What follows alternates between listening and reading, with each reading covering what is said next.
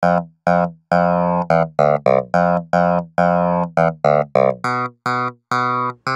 guys, welcome back to What Do You Watch? I'm Geoffrey Kawakami. And I'm Michael Kovacevich, and today we're talking about Star Wars. We're talking about the prequels, and we're talking about how they, you know, they brought us a lot of good things despite being a much weaker trilogy. All right, so a little background, real quick. Um, 1999, when Episode One came out, I was eight years old, um, and I had already seen the original series countless times. Um, had toys, had lightsabers, had all that jazz already. Um, and so part of it for me was just being a kid and getting being able to see those movies for the first time as a child and really get to enjoy them. And although you know I'd, I'd see stuff, you know, oh episode one wasn't that good, yada yada yada, I still really enjoyed them because I was a kid and they are a little more targeted towards kids. So I think the first defense really is the childhood nostalgia and that they did hit a target audience really well, despite Jar Jar Binks and etc. Yeah, um, I uh, was basically born into Star Wars. I did not see Return of the Jedi in the theaters, but I heard it through my mother's stomach because she was pregnant with me mm-hmm. during when she went to see that movie. So, um, and I definitely grew up watching. You know, we had the VHSs, we had the movies on VHS that we would have to rewind and watch over, and we literally rewound, rewound them and then watched them over again, uh, like all day. So and I definitely had the toys as a kid, but there was the that drop off period in between, you know, when I got too old for toys, and until that that series, new series, was, or the new new trilogy was coming out, that Star Wars wasn't really on my mind, and then, but it definitely, especially in that first movie, because it was so kid friendly, it was so um, joyous and and lighthearted and stuff that it brought me back to you know, feeling like a little kid watching Star Wars. Uh, episode one also brought us Darth Maul, the uh, red and black super badass villain with the dual lightsabers that came yeah. out both sides. First time when seeing he, that. When he busted that out, that was that was like, oh, they can do that that with lightsabers, like. Um, so that was cool, and the lightsaber battles in general were just way better.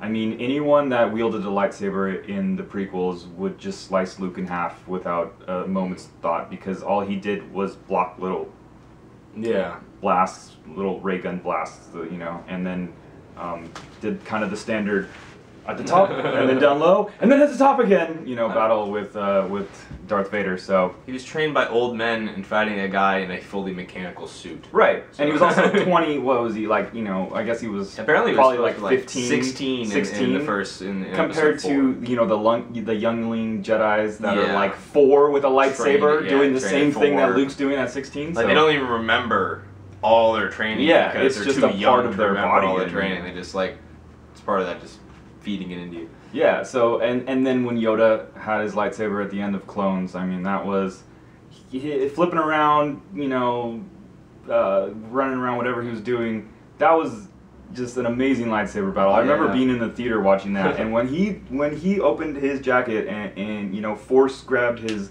lightsaber, I mean there was like a, a gasp in the audience of just like, oh my god, we are about to see this.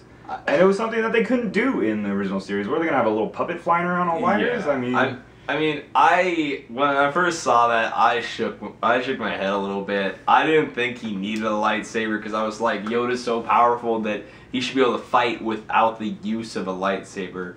Um, however, I guess George Lucas felt it necessary to give him a lightsaber. Although that scene still was awesome. When I was a kid, I was watching and I'm like, this is terrible for everything we've learned about Yoda. Completely out of character. But I mean, you have a little little green man bobbing around, jumping mm-hmm. off and down, fighting Christopher Lee, who's like.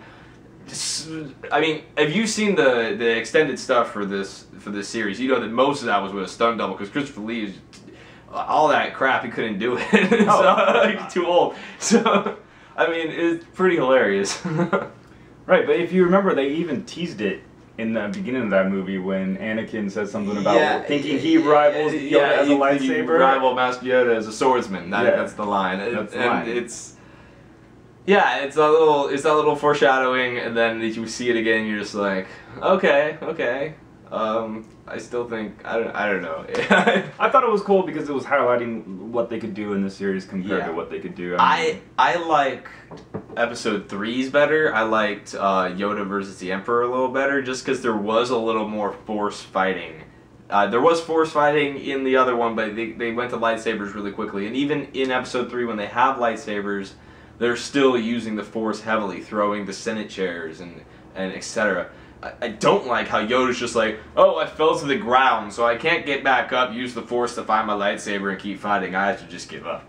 I, I think it's kind of a you know do or do not. I mean you know there is no try type thing. So if he couldn't do it, he wasn't gonna do some like suicide attempt because he knew he couldn't do it. So Right. I mean Another thing that uh, Phantom Menace brought us was Duel of the Fates, which is, in my opinion, the best song to come out of any of the Star Wars movies. Um, it's it's it, I know you've heard it. It's the dun dun dun dun dun dun dun dun dun dun dun dun dun. The way that the song builds and it builds and it's like on this grand scale and um, it really highlighted that lightsaber battle and the different the Darth Maul and Qui Gon Jinn. Neither one of them are my favorite characters, but I think they were a really good um, like just juxtaposition against each other as kind of like pure evil and pure Socrates kind of thing. Okay, now I think the biggest contribution uh, of the films is really what they brought to the canon and what they brought to like kind of like the overall lore of Star Wars. Um, especially when it comes to the Sith. The Sith aren't specifically mentioned in the original trilogy. They're mentioned in the screenplay. Darth Vader is described as Lord of the Sith. It's in the screenplay. I mean, that's internet sources, but it's in the screenplay, but it's not in the actual movie at all. So the first time we hear the word Sith in a movie is in episode one, and we also get the rule of two in episode one. So I mean, it, it introduces a lot there, as well as a lot of other aspects. You, you see a lot of other things that just we're just like used to now in Star Wars, but you realize four, five, and six didn't have any of that. Um, like midi-chlorian, if, uh, midi-chlorian is not a good addition, but it's definitely something that it's definitely something that people that people know about and feel very strongly about it. and feel very strong negative way. In a negative way, yeah. Um, yeah, no, I definitely get what you're saying. And the rule of two, I think, is really interesting because when you have uh, this host of, of Jedi Knights training on all these different planets, there's all these different Jedi Knights, and all it takes is two Sith, and they are Yeah. like equal. Like that means that those Sith motherfuckers are badass. Yeah, great. What I want to get into is the foreshadowing that happens in the early movies um, with Palpatine uh, telling An- little Anakin he's going to watch his career with great interest. We know that that's because he wants him to become uh, Darth Vader. More subtlety. Yeah. uh, there's actually, you know, the scene on Tatooine with Anakin. I think it's either right before or right after he saves his mother. And he's talking to Padme, and he comes up, and his shadow that's cast on the wall is Yeah, a Darth Vader shadow. That was actually in the. Well, I mean, they, they had a similar thing to that in the uh, in the movie trail in the movie. Uh, the poster, Posters. yeah, they had little, An- it was little Anakin. well, little little. Anakin, but then also when they had the one, they also had another poster with Anakin and Padme with that same With that same, yeah. same the same exact friggin' shot almost, but yeah, um, they're really pushing that. Yeah. Like, yeah, you I mean, didn't know what was gonna happen. It, because it's it's interesting because you know, you know the end game. You don't quite know how it's gonna get there, but you know it's going to get Mhm. there. Um, and then like at the end of Clones, uh, end of Attack of the Clones, when the clone army actually does show up, and they're loading onto the star destroyers, and they start playing that Empire music, and it's like. Yeah. it's, it's a it's a good moment because it's the good army that's going to dispatch with the separatists. Yet there's just a sense of dread that you get that when a- that music hits. Probably the best scene in the whole movie. no, no, because Yoda, we already established that Yoda laying the smackdown on on Darth, whatever his name is, uh, Count Dooku. I know, but it, it had you feeling so optimistic about number three. It did, it did. And number three was definitely the best of the the best. Uh, the I- only PG-13 movie to come out of the series. Yeah, I but for the love of God, the writing, especially at the end, he was killing younglings.